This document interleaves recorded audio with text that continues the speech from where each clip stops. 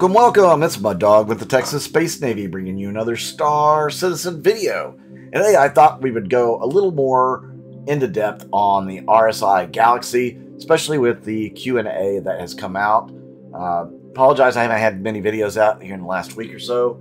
Uh, as you can tell, I'm a little under the weather. I'm trying to bounce back from what I assume is the flu. Uh, hasn't been fun, I can tell you that. Some sleepless nights. Uh, lots of chills and fevers and everything else. So, let's talk about this ship. This ship, to me, is one of the cooler ships that they've brought out in recent memory.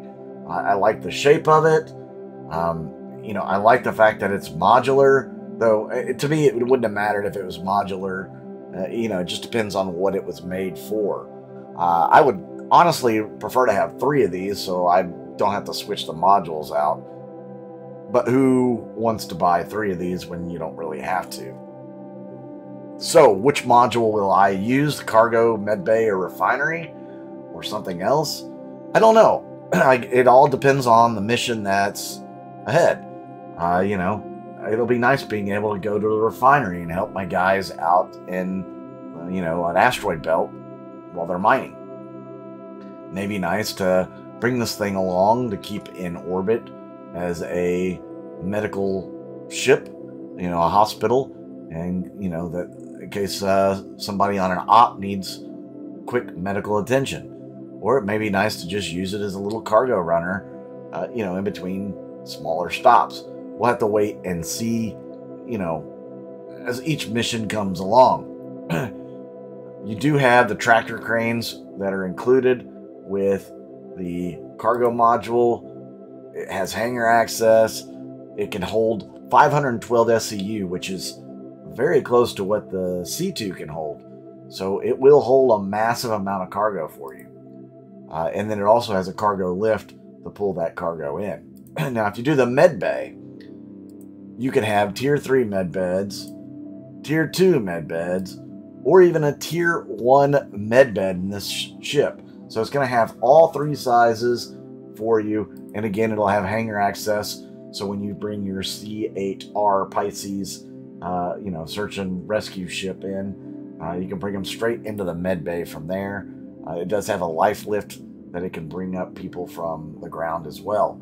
So the med bay is going to be extremely useful, especially on smaller ops. Uh, I mean, even larger ops, this thing could be pretty useful uh, as far as supporting your team as a med bay. As a refinery, it'll have that command console, hangar access again, uh, two different processors, and, mineral, and a mineral extractor.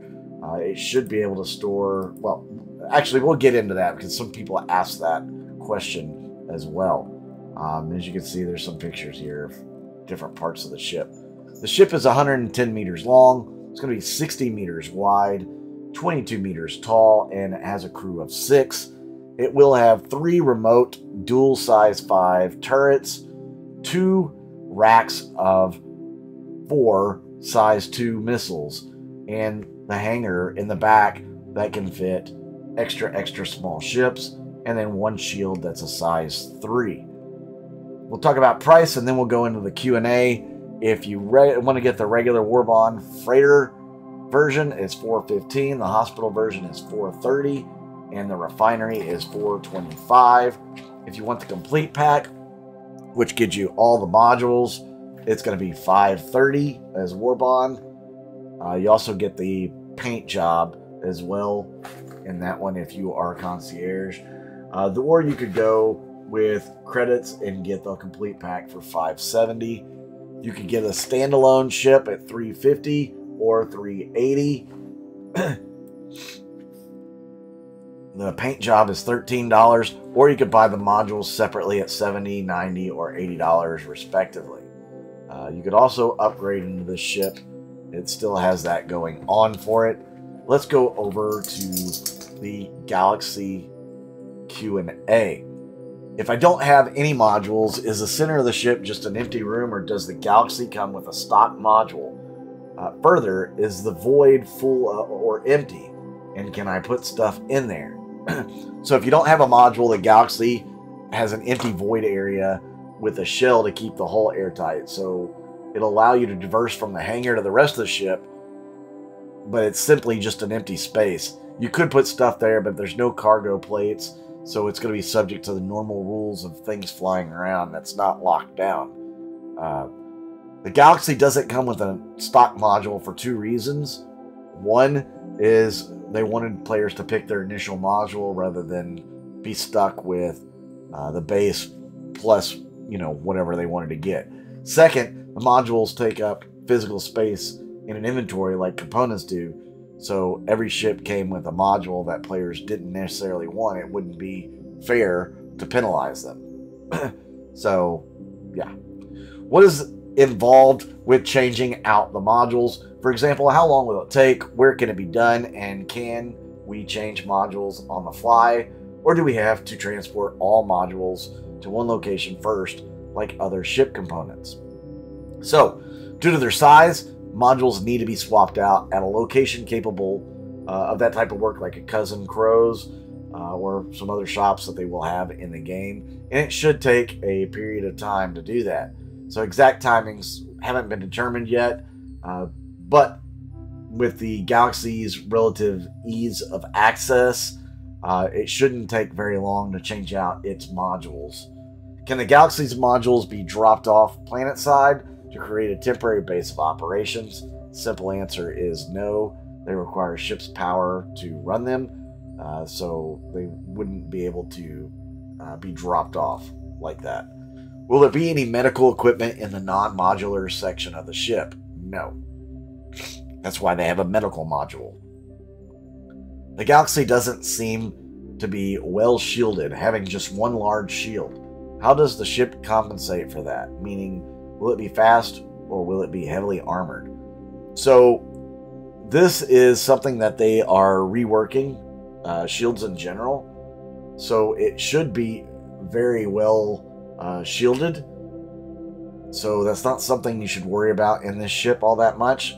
A size 3 large shield will be significantly different than a size 2 medium one or the smaller items you know that you might find on smaller ships. Uh, size 3 shield will be significant. What is under the bridge? It's just a cool looking visual design with no intended gameplay functionality. Can we get an explanation of what the two rooms on the first floor at the very front of the galaxy are? So on the upper deck the two rooms behind the bridge are for crew lift and the docking collar. And on the lower deck, the fore room is for components, and the other one is uh, further rearward for the crew locker uh, suit room for exiting the vehicle via lifts. Are any of the turrets pilot controlled? If not, does the pilot have any other weapons available to use? The pilot only has access to the missiles. The turrets are controlled by crew. How does the refinery module compare to the MISC Expanse's ability to run six separate refining jobs simultaneously?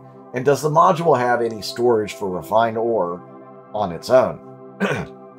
the Galaxy refinery module has storage for both raw and refined materials, as well as two reactors, which are way larger than the Expanses.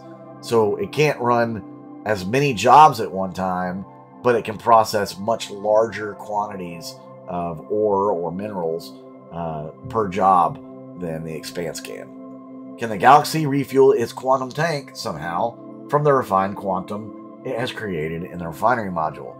Uh, there's no direct connection between the quantum tanks and the refineries, so no.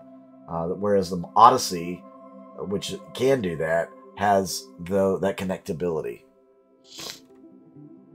The Galaxy Promotion website states an afterdeck that serves as a dedicated hangar or sizable cargo hold. Does this mean that this entire afterdeck area is a cargo grid of 64 SCU or just the sides of it?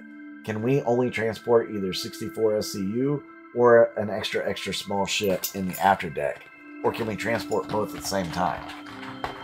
The 64 SCU cargo grids are 2x32 spaced at the edge of the hangar so they don't interfere with any of the hangar metrics. So you can have both an extra extra small ship and 64 SCU stored simultaneously. Can the cargo module be used as an improvised hangar? And can one use tractor beams to pull the Tumbril Nova or an Atlas platform vehicle into the cargo module? So if you could fit the vehicle through the door to the hangar or up the lift, then it's possible. But that's not the intended role. The, the cargo lift is capable of loading two 32 SCU containers at a time, so vehicles up to and including the Ursa rover will comfortably fit. What can you tell us about the Galaxy's maneuverability or speed capabilities compared to the Carrack and Constellation? They said it's much closer to the Carrack in terms of maneuverability and speed than the Constellation. Does the hangar have refuel repair capabilities? There's no inbuilt uh, systems for refuel and repair, but if the players bring the tools, they'll be able to do so. What size ships can we fit in the Galaxy's rear hangar? For example, will the MISC Prospector fit there? Does the rear hangar have a ramp lift for ground vehicles, or can ground vehicles only be used with the module lifts? So the rear hangar is an extra, extra small hangar. With that, that means that only certain ships will fit in there, like the Pisces, the MPUV, the Razor, the 85X, or the M50. Uh, now, as far as other ships fitting in there, it's not really made for those size ships. You could probably squeeze a few in there, but I would not do that because the game's a little finicky and you will probably blow up. so that is the RSI Galaxy Q&A. Uh, a lot of good information there. I like uh, them putting out the Q&As for the ships. Um, was one of those questions that were answered one of yours, or did you have some other questions that they didn't get to? Let me know in the comments down below. Appreciate you tuning in. I'm Muddog with the Texas Space Navy, and I'll see you out in the verse.